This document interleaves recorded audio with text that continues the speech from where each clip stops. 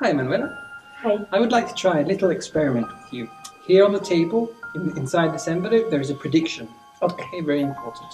And here I have a deck of cards, all different 52 cards. Now, I would like you to choose one of these cards. So um, I'll do like this, and when you want, just say stop. Okay? Stop. Yeah? Yes. Okay, take this card, look at it, okay, and put it back in the deck. Done. I'll put the deck over here. Now, as I said before, inside here I have a prediction Okay. and I have a card.